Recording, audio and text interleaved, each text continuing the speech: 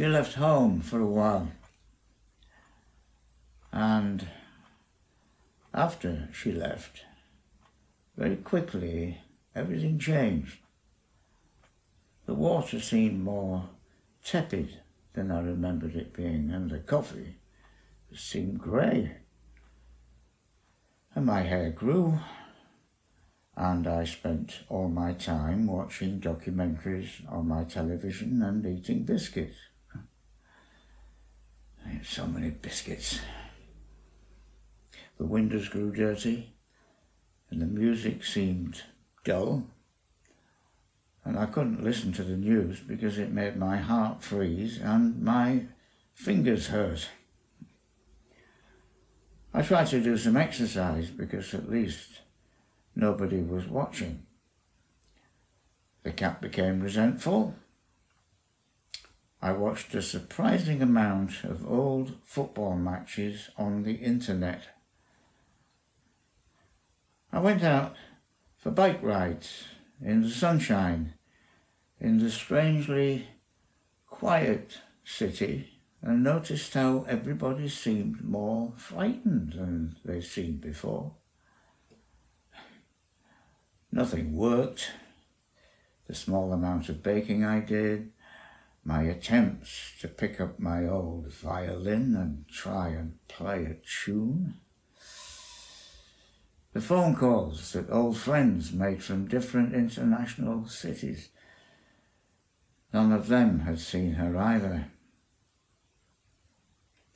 And then today I started to think about this home that she left. Really look at it. I found myself daydreaming, drifting in and out of consciousness, trying perhaps to figure out what it was, this home place. I mean, home is not where I mop the floors. Home is not a place where I keep my toothbrush. It's not a place where I sleep on my dog or read books or stare into the internet looking for bursts of distraction. It is not a place to store jam or eat apples or grill bacon or make risotto. And it is not a good place to hit our heads against the wall when the world starts to hurt.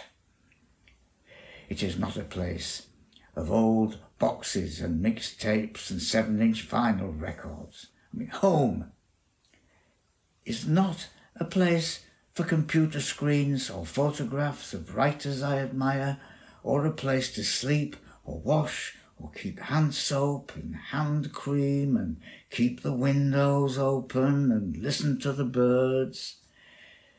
It is not a place to eat Easter eggs. And 80 years ago, it wasn't a place to hide from the bombfall. And 200 years ago, it wasn't a corner of a field on a farm. It hasn't been a place to set out on the road to Colchester or find sanctuary from the Black Death or smallpox or typhoid or cholera it is not a place on the east end of the north banks of the ancient estuary breathing inwards and outwards from the mouth of the North Sea, or a place near the forest where the iguanodon crawled and where tribes sheltered for centuries and where gangsters buried bodies and where uh, nowadays you can find a really lovely pub lunch. It is not a point on the surface of a rotating sphere orbiting a ferocious sun, orbiting a galactic core in an expanding universe.